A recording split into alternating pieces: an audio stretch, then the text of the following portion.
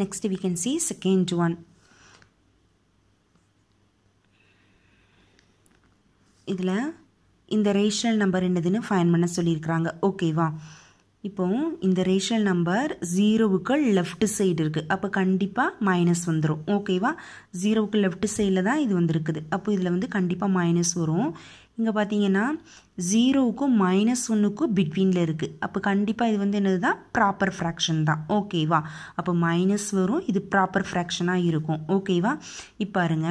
இதில் total parts என்னதுன்னு பார்க்க போகிறோம் ஓகேவா டோட்டல் பார்ட்ஸ் வந்து என்னது நம்மளுக்கு? One two three four five ஓகேவா டோட்டல் பார்ட்ஸ் ஃபைவ் அப்போ இதுதான் வந்து நம்மளுக்கு டினாமினேட்டர் ஓகேவா அடுத்தது பாருங்கள் மார்க்டு பார்ட் எதுன்னு பார்க்க போகிறோம் ஓகேவா மார்க்டு பார்ட் ஜீரோக்கு அங்கே இந்த சைடு வர்றது. இது ஃபஸ்ட்டு ஓகேவா ஒன் டூ மார்க்டு பார்ட் வந்து என்னது? டூ செகண்ட் இதில் தான் மார்க் பண்ணியிருக்காங்க. அப்போ இதுதான் வந்து என்னதுன்னா நியூமரேட்டர் ஓகேவா அப்போ அந்த ஃப்ராக்ஷன் வந்து அதாவது அந்த ரேஷனல் நம்பர் எப்படி இருக்கும்? ஜீரோவுக்கு லெஃப்ட் சைடு வர்றதுனால. ஓகேவா கண்டிப்பாக மைனஸில் இருக்கும்.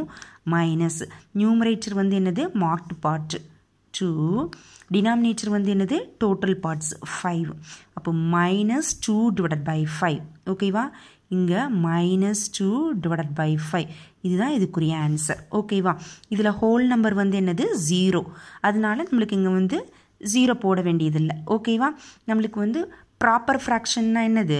ஹோல் நம்பர் எதுவும் வராது. அப்படி தானே அந்த ப்ராப்பர் ஃப்ராக்ஷன் மட்டும்தான் வரும். அப்போது இதுக்குரிய ஆன்சர் வந்து minus two divide by five ஓகேவா